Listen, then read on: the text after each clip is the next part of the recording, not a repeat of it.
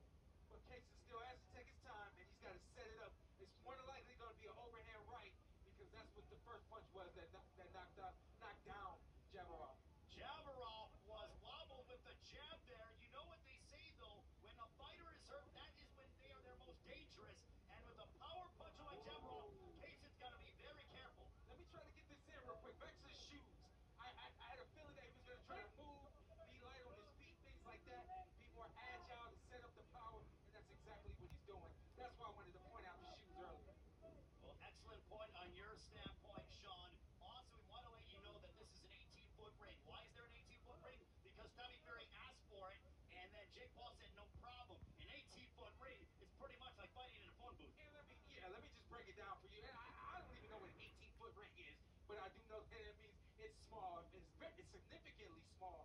Most rings that fighters fight in in the pros are 21, 22, 23 feet. So it's significantly smaller, which means there's not going to be much room to move or run or hide.